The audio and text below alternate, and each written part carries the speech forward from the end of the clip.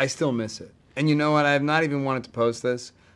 I feel like my new phone is too heavy. And I know that makes me like the oldest dinosaur in the world, but the problem is it's right it's right here. It's right here. I'm gonna I'm gonna talk some shit right now.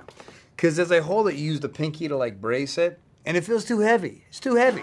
Am I the only guy? I got a line here in my Like it's too heavy. Yeah. Like I, I need something well So you're saying, oh, pardon me for saying this, but you're saying Captain America can't lift an iPhone. Oh, now now you're getting aggressive.